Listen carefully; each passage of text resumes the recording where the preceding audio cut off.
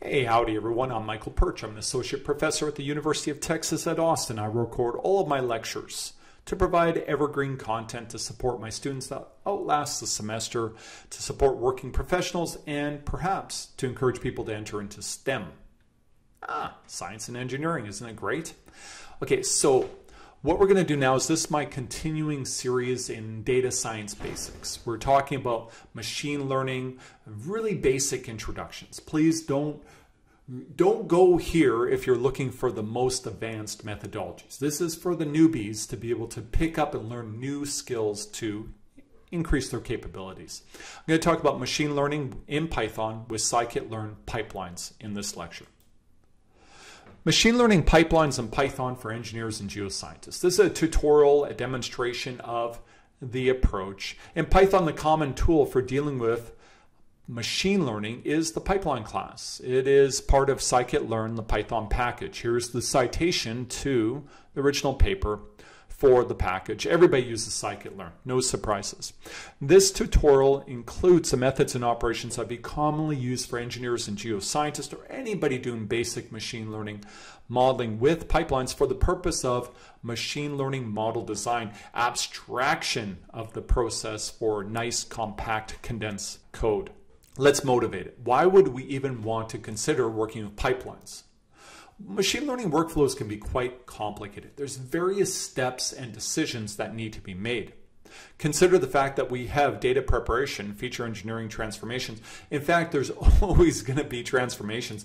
Many of our machine learning methods require transformations.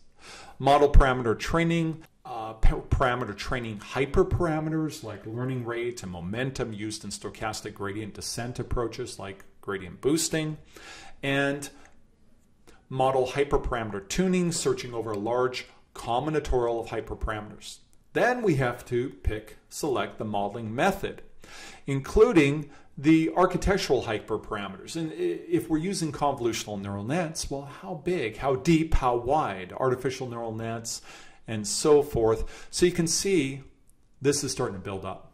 There's a lot of choices. There's a lot of moving parts in machine learning. Modeling metrics, the multiple cross validations like k-fold cross validation required to train and test our models or train, validate, and test our models. This can all be a bookkeeping nightmare. What's interesting is that you may apply machine learning over and over again to a variety of different problems, but you have this massive amount of code to do all this, and it's all prone to modeling blunders. Wouldn't it be nice if we could back up and have a methodology by which we can do it more efficiently these types of common steps for machine learning. That's what pipelines are all about. It's a scikit-learn class that allows you to encapsulate the sequence of data preparation and modeling steps. Then we can treat the pipeline as an object and the result is a much more condensed workflow. The pipeline will allow us to improve code readability for sure guaranteed. And to keep everything straight as far as that bookkeeping nightmare, it goes away. We can avoid common workflow problems like data leakage. What is data leakage? That's where the testing and training sets share information. The way I like to call data leakage is peeking. We're effectively peeking at the testing information, which should be withheld during model training. Okay. The other thing is we can abstract the common machine learning modeling approach and focus on building the best model possible. Now, the fundamental philosophy can get us to an endpoint where we start thinking about machine learning as a combinatorial search of all possible models. We're trying to build the best model. Uh, some caution there. I don't I'm not an advocate of the idea of fully automated machine learning. I think there's just a lot that goes into it. We should understand the models. We should be making expert choices. So I'm just going to be a bit cautious around that. Let's recall machine learning. Let's talk about prediction with machine learning. The basic idea is we have a formulation like this. No matter how complicated the model, it's inputs, outputs, predictor features, response features, and we have a model that we're building. Prediction really includes the building of the best possible model, F hat. It's a proxy of the natural setting, F, and it's an estimate to calculate the most accurate estimate of the response feature, Y hat. We're going to train with all available observations of the response feature, y, with all of the pre associated predictor features, x's, for all available data, alpha equals 1 through n. Model complexity is tuned by using withheld observations to assure model generalization. What does that mean? We need our model to perform at data values in the solution space that were not included in the training nor the tuning of the model. It's all about building a model that will perform well and not be overfit. All right, if you're interested, I have lectures on all of this around overfit, philosophy, machine learning. I'm not going to be able to provide all of this on one slide. Just a quick recap. Project goals, we want to learn the basics of working in pipelines to do this encapsulation and build this really nice readable code. I'll show you a standard workflow. Then using longhand, using the traditional methodology, I'll repeat it with pipelines and then I'll extend it and then I'll show a more complicated example. I only demonstrate the most basic workflow of pipelines. There's, of course, much more we can do. There always is, but I want to provide you with something very simple to get started. Let's go ahead and start with importing all of our packages. As I mentioned, or should have mentioned, this is all live code. I'm using Jupyter Slides, which are awesome, using Rise package for these slides. And this is all live code. So I can go ahead and run this code and you'll notice it's running. I'm importing my packages. I carefully selected all the packages I need. As we go through the workflow, you're going to see you need these. Now, these are all standard Anaconda packages. So they're all, if you have Anaconda 3 point something installed, you'll be able to run this workflow.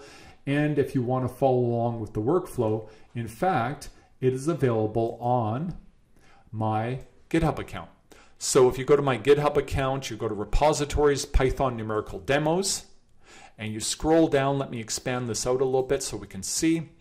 You go all the way down here, you're going to find at Python Data Basics pipe, pipelines. And so this is the workflow that I'm going to show with the slides. You can go ahead and join in and run along with me as I'm talking through it.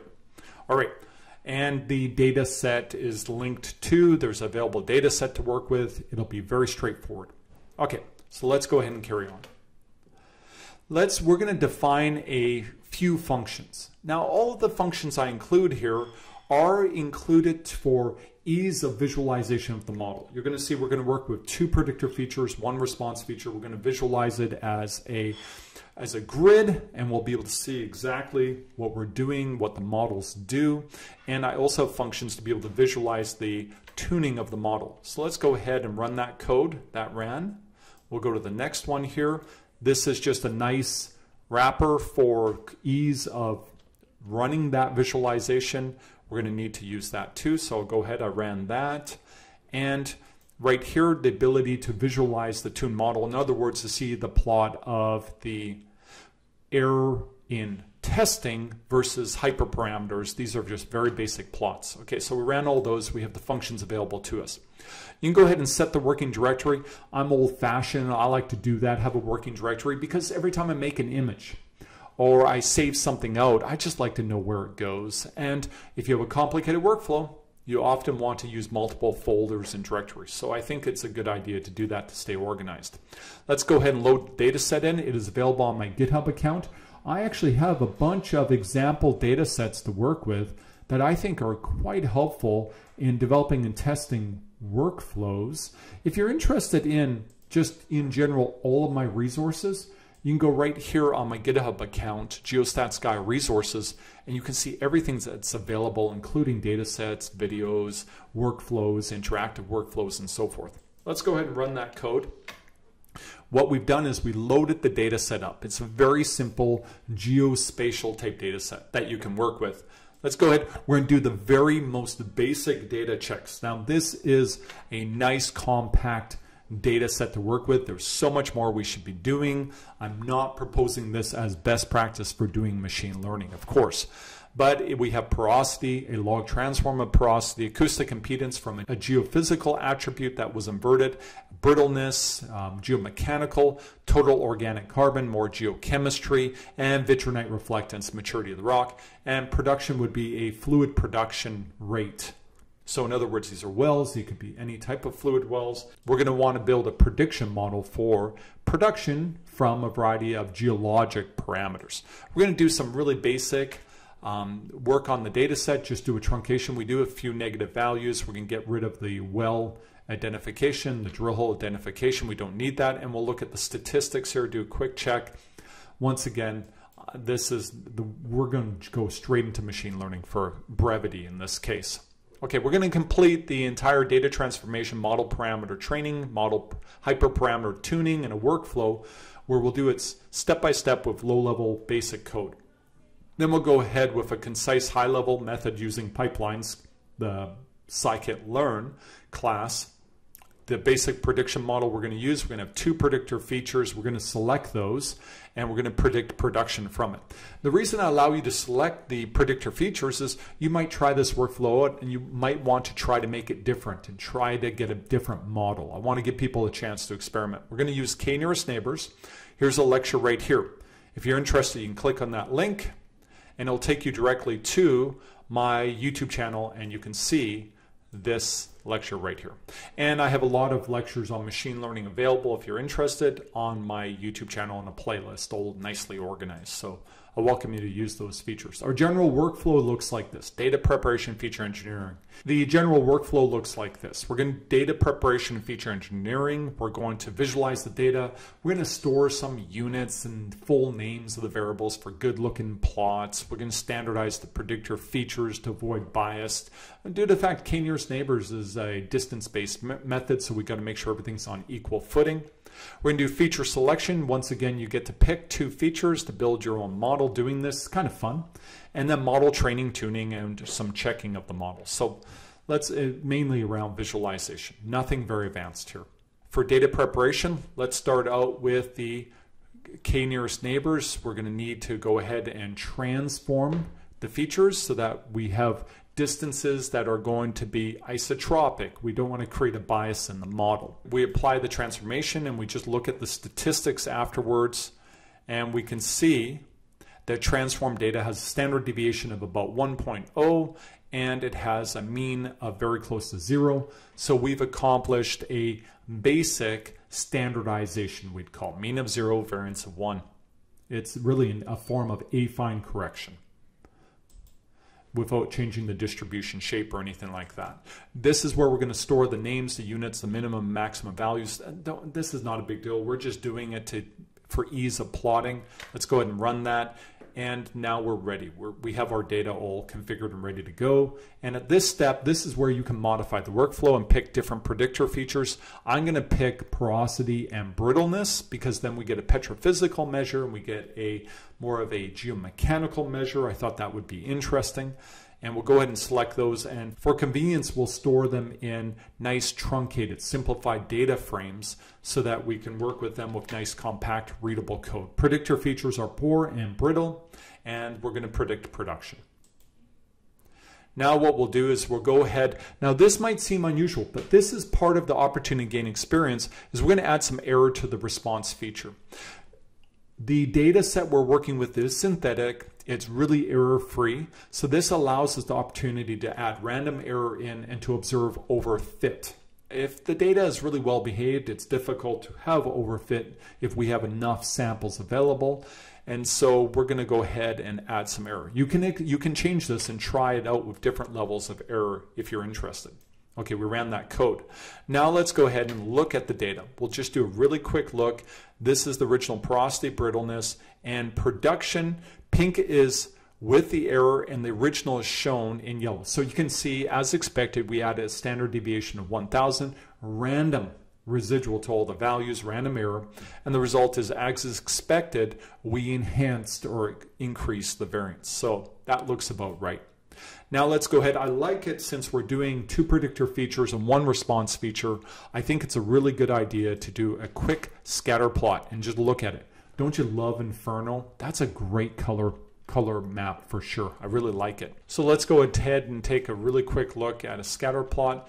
And when we run that, what we'll see is we'll see the original production versus porosity and brittleness, porosity, brittleness, and production is the color and you can see how well behaved it is. It's very smooth, there's no noise. With the addition of the noise you get a sense of how the data set has changed. So this is, I think this is helpful, just kind of a quick check and see what we've done to the data, how complicated the prediction problem is going to be. Next we're going to instantiate, tune, and then predict with the model. We're going to use k-nearest neighbors. We're going to loop over the hyperparameter, and in the case of k-nearest neighbors, super simple, it's k. That we're going to focus on k right now. Afterwards, we'll take a look at uniform versus distance-based weighting. We'll apply k-fold cross-validation. We calculate the average error over the k folds. We'll report that. We'll plot the error versus the k hyperparameter. We'll select the minimum error k in k-fold cross-validation, and we'll rebuild the model, training with all data, and the tune k hyperparameter. Okay, so th this is the job we want to get done. Now recall the k hyperparameter. I have a lecture on k nearest neighbors. It's very simple. It's the number of nearest training data to use for the local estimator, the local estimate. Low k, high model complexity. And it becomes more flexible. Imagine a k of 1 is a nearest neighbor estimate very much overfit to the data. In fact, it would be perfectly accurate at the data locations and probably wouldn't perform well away from the data.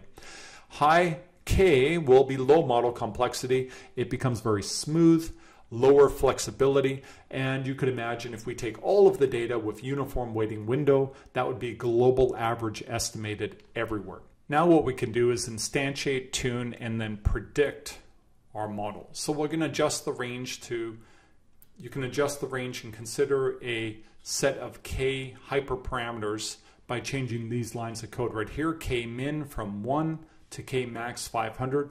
Ideally, the maximum should be the number of data that are available. You can figure out how many data there is as a maximum by considering the total available number of data and then subtracting out the fold that will be withheld for testing. And so that ratio would be folds minus one divided by number of folds times number of data. So if you want this code, a line of code here, we'll calculate it for you. I'll just go ahead and set it as 200 here.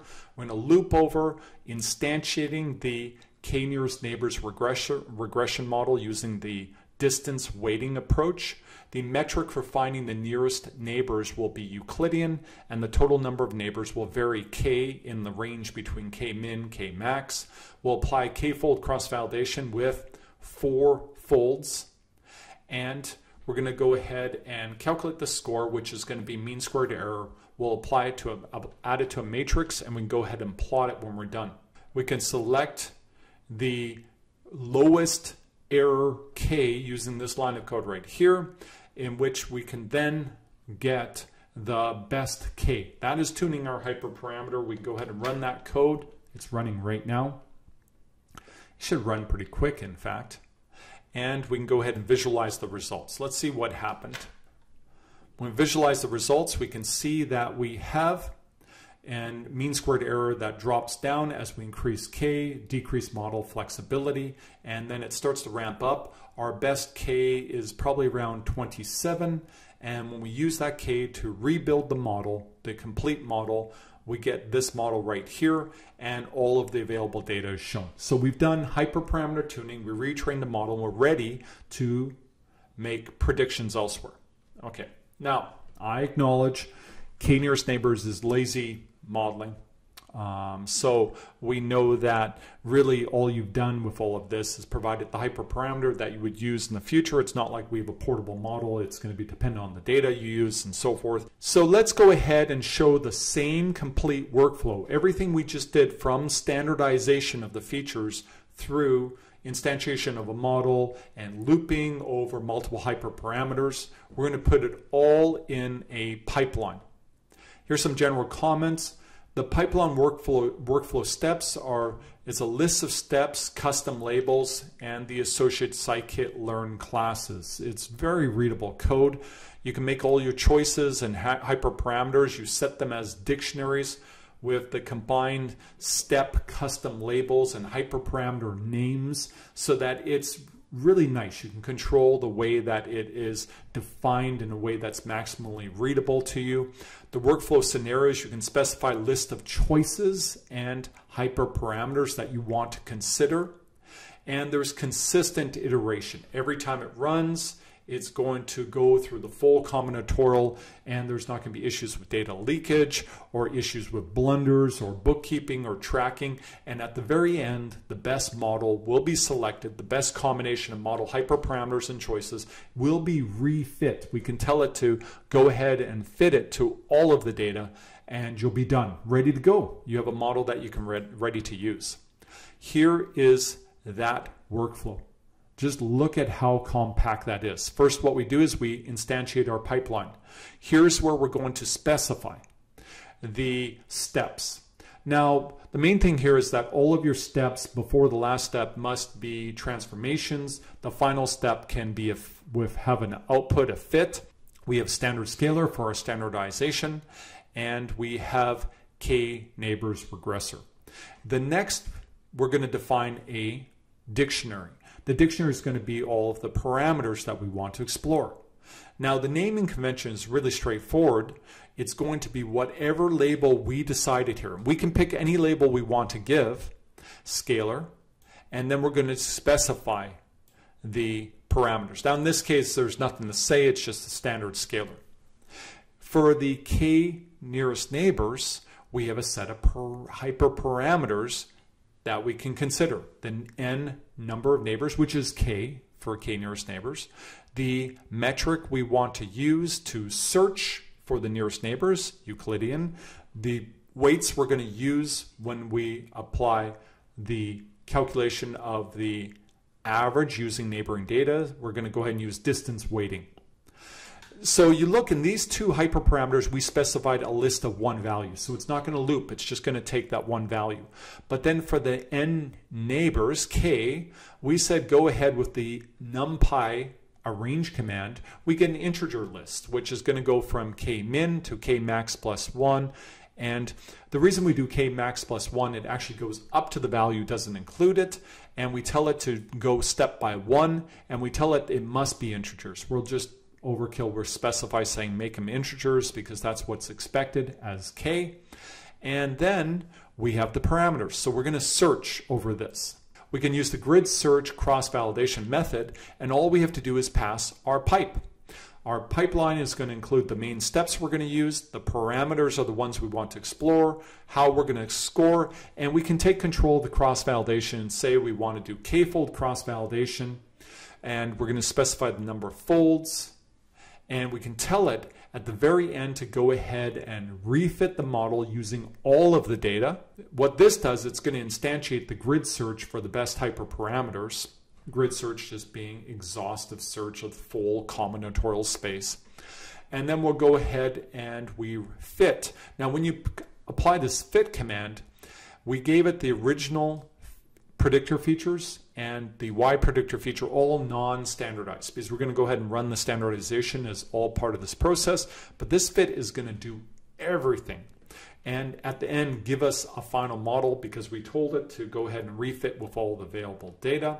And we go ahead and run that command. It's running right now, looping all of over all those Ks, going from one to whatever we put for the maximum value. Was it 200 or something like that? And it's done running. Let's go ahead and see what happened. These are our functions here for quick visualization. Let's do a quick look and see what happened. And it's running right now. The visualize the tune model, which will show us the hyperparameter tuning that happened. And it's going to visualize the best model. So let's, what we have here is we have the hyperparameter number of nearest neighbors k from 1 through 200. We have the mean squared error shown right here. And we have the resulting model, which was the very best one that we found, which was about, once again, about k equals 27 shown right there. So all of that was accomplished with a really nice, I can't, I can't overstate just how readable this code is and compare it to what we had before which involved a lot more steps and iteration, all the individual functions and all the possibilities for blunders and not being consistent with what we were doing from step to step. Now you might look at the code and say, well, it still looks kind of long. Well, this right here is a really nice specification. We can read the steps, very easy. This dictionary right here, we're listing all of the parameters and how we want to iterate or how we want to search through them. Okay, in the resulting model right here, you can look back and forth in the workflow. You'll see it's exactly the same result. We got repeatability, which is really, really nice. Okay, let's go ahead and comment a little bit. Let's compare and contrast the without pipeline and the with pipeline workflows. Code readability, I hope we all agree, much more readable with pipeline. This is a great advantage of the pipeline workflow, in fact. The list of machine learning steps are included in the pipe pipeline instantiation, which is really nice. The then the model choices and hyperparameters are listed. It's really nice. Bookkeeping is really good with this approach. I really appreciate that. We can see that everything was run the standardization the model construction it's all run within that class that abstraction it makes sure that everything is consistent the data transformations are applied as they should be you're not mixing up using the wrong thing the fit operator conducts cross-validation, runs all the hyperparameters, which is nice, the full combinatorial, after the data transformations, and the best models refit to all the data. The predict operator encapsulates the data transformations and prediction with the best refit model. We now have that available to us in the new class that we've created, the pipe, uh, from the pipeline. The best params is a member, class member, that stores all of the hyperparameters and model choices so you know the full model right there. You can do really ease, easy experimentation, try new things out. If you have ease of experimentation, you can try things out. You're not going to get frozen or stuck in what you're doing. You can run a variety of model scenarios and really find out what's the best way to build a model. Control, well, you know, there are some of us who are control freaks, and I don't blame you. I have years of C++ coding. I do like the ability to build things up from the ground and have full control of everything I'm doing. I've done full stack development, front end and back end, and sometimes I like to do that. Now, when we do abstraction and encapsulation, it results in more readable code and ease of running and so forth. But you may find yourself in a situation where you want to work with highly customized workflows. I mean, you're building your own machine learning methodologies. And technically, you could build them consistent with scikit-learn methods, and you could actually use them in this workflow and this approach. But sometimes may, you may find yourself somewhat limited if you're trying to build very, very complicated workflows just an observation. You know, it might be a case of there's always a way to get the job done. Okay, let's go ahead and take a look at what we built. We want to retrieve the best model hyperparameters and see what they look like. We'll go ahead and look at the best param class member. No surprises here. The metric we are using was Euclidean to find the nearest neighbors. Uh, we told it to do that. We didn't give any degrees of freedom. The k, n nearest neighbors, is 27, as I mentioned before. And the weighting is distance based. We told it it couldn't do anything else. This is the model right here we're building. So that's great, it worked. So we have a model now, if we use that model to make predictions, we know what the model is. We can use it to use the predict command, make predictions at any locations. It's tuned. Let's do a more complicated machine learning model with k nearest neighbors. We're going to go ahead and look at iterating over more choices. Very, very simple. We're going to iterate over the k nearest neighbors, the n neighbors, hyperparameter. And also we'll allow the weights to be uniform weighting and distance weighting. Now we can go ahead and just set the parameters. We use the same pipe as before, not a big deal, and we'll go ahead and run that. That's running right now. It's looping over all Ks for all weights, and it's going to give us an output when we run the fit, it's going to loop over with that available all the data, do the k-fold cross-validation, find the best hyperparameters, and then we can use the predict command. With this, it'll be our trained model. So really, really cool. Let's go ahead. Now, you'll notice I have a second function for doing this step because of the fact that it actually stores the results looping over first the uniform versus distance and then looping over k so I had to kind of unsort those results. So not a big deal. Let's go ahead and look at it. No surprises here. We got instead we now have uniform red distance based blue. Distance based outperforms uniform. That's not a surprise right? Because when using k nearest neighbors with uniform it's like just the local average versus uh, distance based gets to be more like inverse distance weighting, which is just a better interpolator. So it does a pretty good job, you can see. And it picks the best hyperparameters. How do we know that? Well, let's go ahead and take a look and see what the best hyperparameters were. Turned out 27K, same as before, and distance weighting was the best. It didn't pick uniform weighting. And we could see that from the plot, the red and blue points. It was pretty clear it outperformed. Now let's do an even more complicated case. Now, for k-nearest neighbors, I feel like we've kind of exhausted the complexity. And so let's switch to decision trees. We pick decision trees because there's a whole variety of different hyperparameters we could look at. I'm going to go ahead and start running this. It does take a little bit of time to run. We're going to consider a maximum tree depth going all the way from 1 to 9. We're going to consider the maximum leaf nodes going from 2 to 30. In other words, the number of regions in the decision tree, or terminal nodes is another way they're called, and the minimum samples per leaf going everything from 1 to 9. Now, it's going to loop over all of these. If you want more information about decision trees, I do have lectures on my YouTube channel on decision trees. I have a bunch of examples. They're available. This is done running. We go ahead and we instantiate this grid search CV with the pipe for the tree, which is just going to be decision tree. When we work with a decision tree, we don't have to transform the data. We don't have a distance calculation in the predictor feature space, and so we're fine without the transformation. We're going to go ahead and use the parameters they're specified here. And by running that code, we went ahead, took the original data, no transformation. We tried out all these hyperparameters. Now what happened? Let's go ahead and visualize the model. Let's see what model we built right here. And so this was our best tuned, and we're showing it with all the available data right here. Okay, so this is our best model. How do we know it's best? How do we know it performed? Well, we could go and look at the error metric that was used, which is the mean squared error. We can go ahead and look at the combination of all the hyperparameters and we could sort that out and look at the plot and see how it varied. We could visualize it in 2D, 3D. That would be actually really cool. I didn't take the time to do that, but you might want to go ahead and see what they were. Tree max depth 7, maximum leaf nodes 29. That's the number of regions in the near in the decision tree and the minimum samples per leaf of 8. That's fascinating to me and I do suspect that using too few minimum samples per leaf is not reliable because it's not a good prediction of the average in the region if you don't have enough data. Okay, so that's really cool. We ran that.